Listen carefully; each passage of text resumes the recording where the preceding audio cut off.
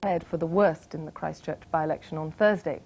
If history is anything to go by, a Liberal Democrat victory will be discounted as an irritation to be rectified at the next general election.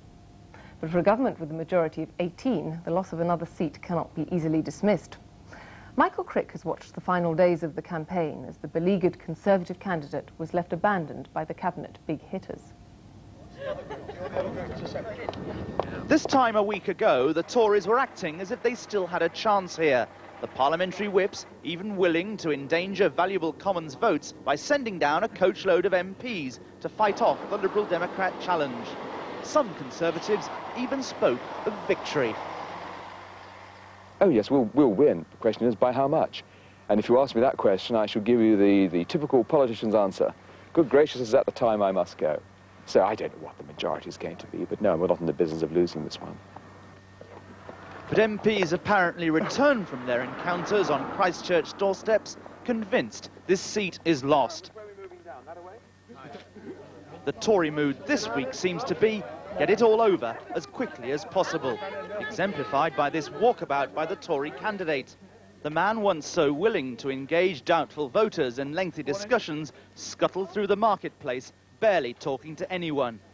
When he did meet people, politics was hardly mentioned. Good morning. Thank you very much. An occasion scheduled to last 50 minutes took just 20.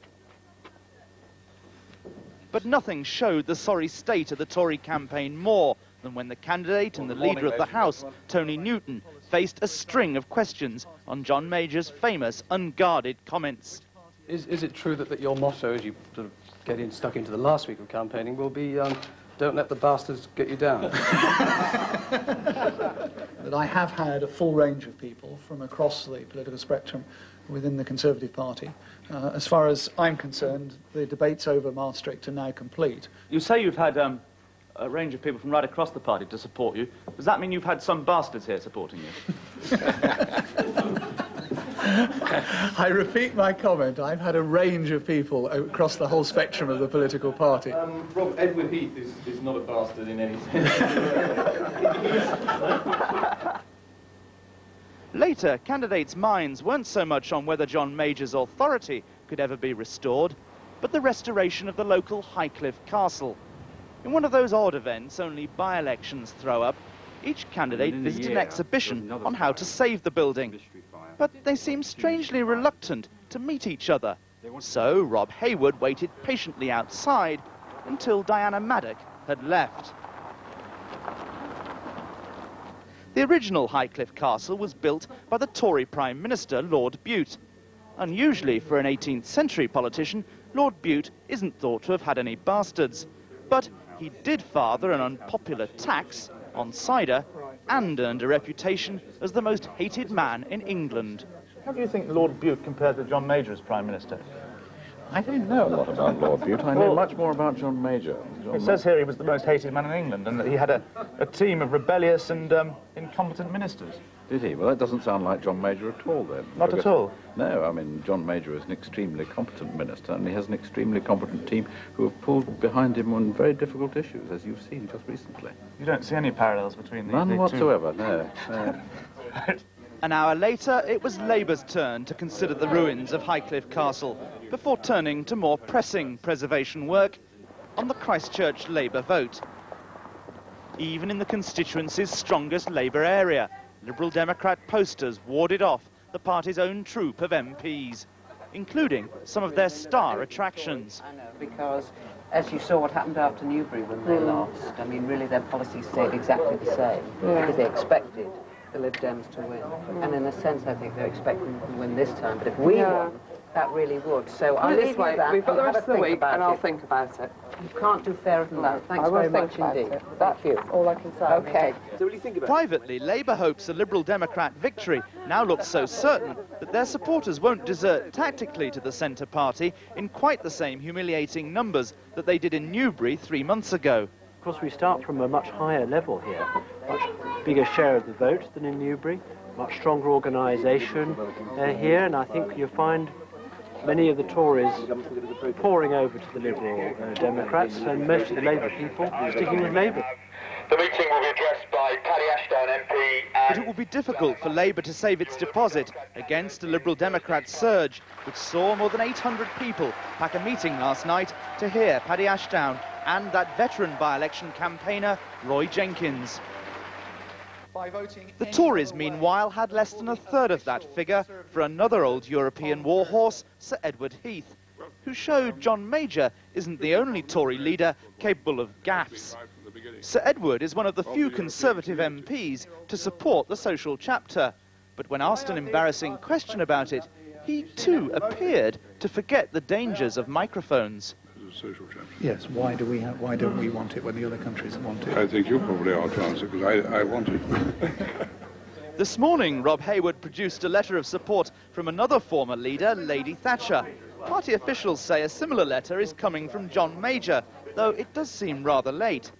Paddy Ashdown, meanwhile, delivered a blistering attack on the Prime Minister. Mr Major appears to have made appeasement into an art form, both internally and externally. He uh, complains about his own cabinet colleagues when he thinks no one is listening, but he promised to listen to them when he's shaping the, same, the, the, the policy for the next election. This is no way to lead a party, and it is no way to lead a country. And Labour's deputy leader Margaret Beckett insisted the Tories had to replace Mr Major, even if that might not help Labour win the next election. You're suggesting to me that because it might be in the interests of the Labour Party, I should want Britain to keep a Prime Minister who is weak, who is incompetent, who is simply not up to the job. It might be in the interests of the Labour Party, but it is not in the interests of Britain. And I repeat, the sooner he goes, the better. When Rob Hayward visited a garden centre today, he looked like a man who knew he was beaten.